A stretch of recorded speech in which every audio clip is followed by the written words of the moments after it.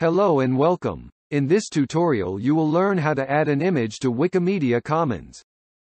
We would like to thank Wikimedia Switzerland for their support in the production of this tutorial.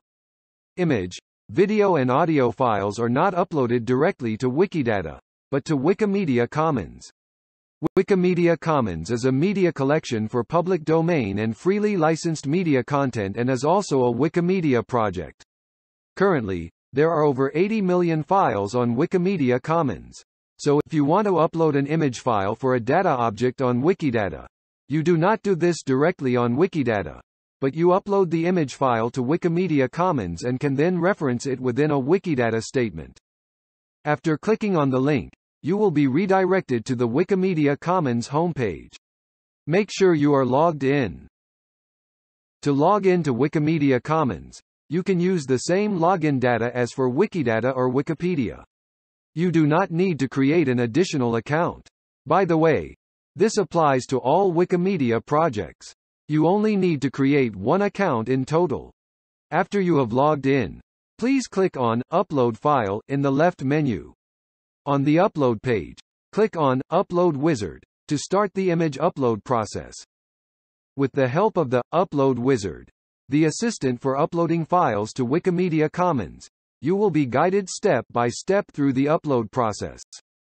In the first step of the process, you will be informed which files you are allowed to upload to Wikimedia Commons and what the legal consequences of an upload are.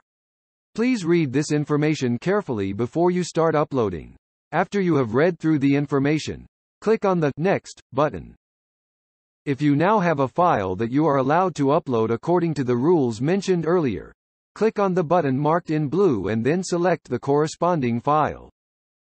Check that you have uploaded the correct image file and click on Continue.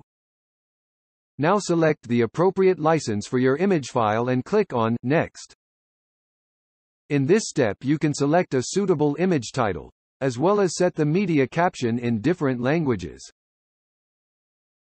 Below the captions, you can also add a description of the image in as many languages as you wish, as well as the date on which the work was first created or published. Finally, if you wish, you can add three categories to make the image file easier to find. Now publish the file by clicking on Publish Files.